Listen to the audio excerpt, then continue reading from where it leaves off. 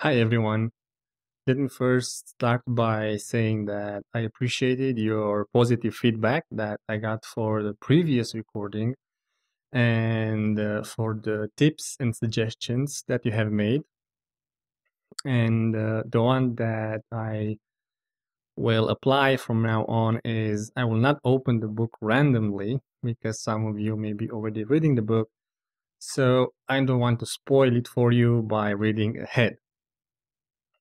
So for this video, I will simply read the beginning of chapter 1 and then I will continue for uh, where I am left off.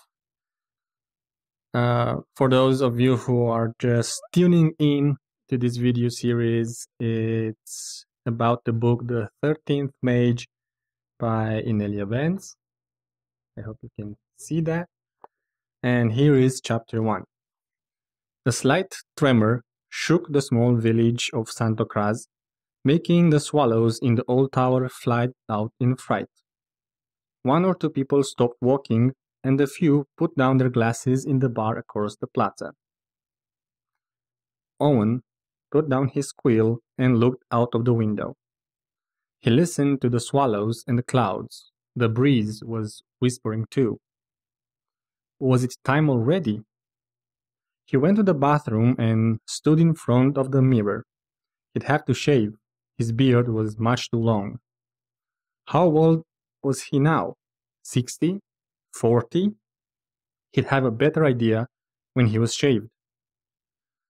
Time seemed to fly in Santa Cruz. It was a pity he had to leave the village. Coming out into the world meant a huge amount of paperwork and adaptation.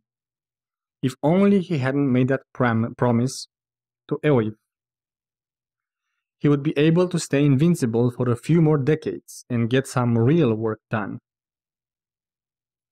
What was that tremor, Owen?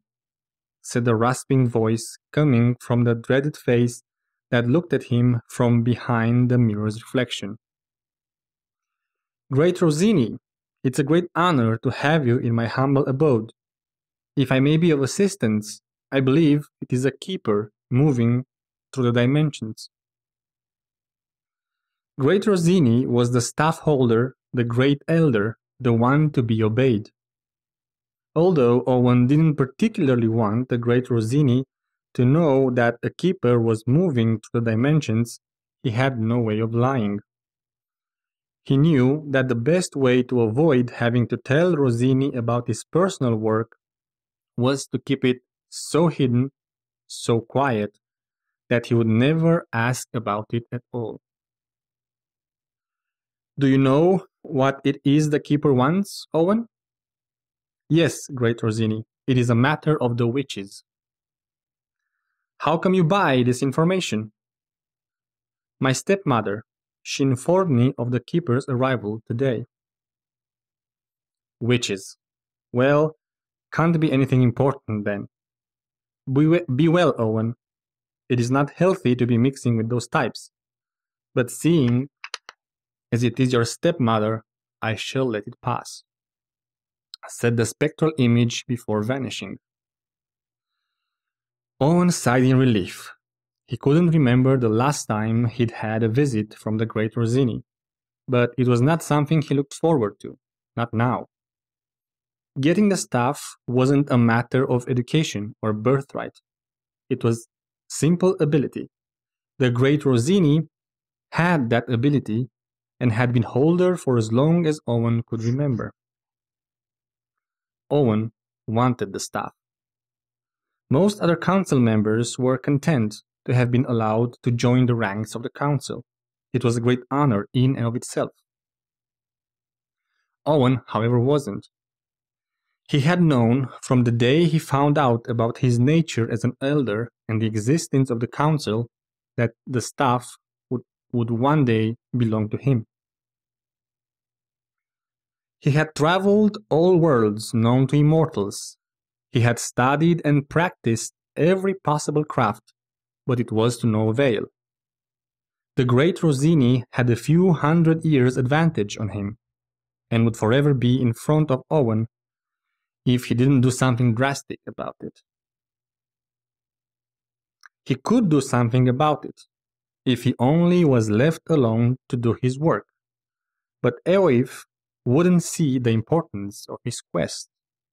No witch would. They were small-minded creatures. Now he would have to work on a promise made when he was no more than a child. It was humiliating. To pass the keeper's test. This is what he had promised to do as a child. Pass the keeper's test. No two tests were the same, of course. Each person had had a unique test especially designed for their own particular needs. If he had chosen the way of the witch, he would have had to do the test hundreds of years earlier.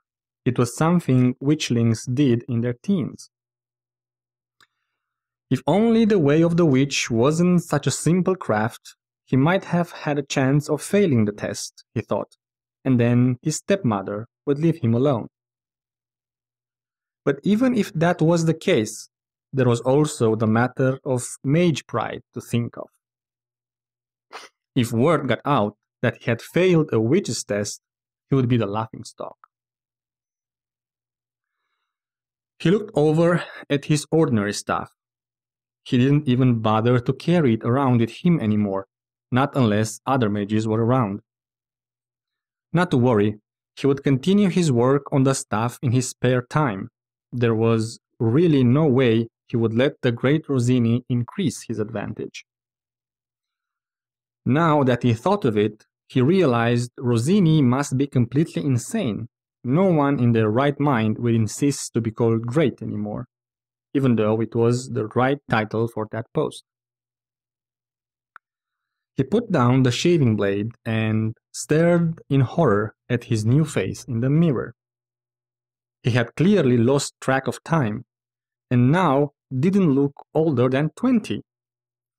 His hair was jet black, not a spot of white anywhere, and his eyes looked larger than he remembered them, bright too, shining.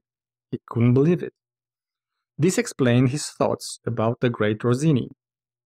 After all, he himself had always wanted to be called the great Owen. And the staff, when the staff came to him. The great Owen.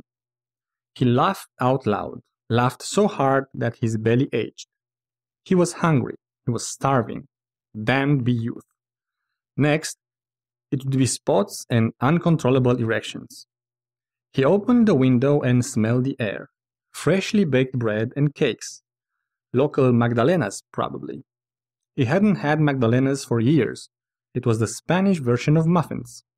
He loved them. As he walked toward the bakery, he could feel the mid-morning sun hitting his pale skin. He couldn't remember the sun burning so much before.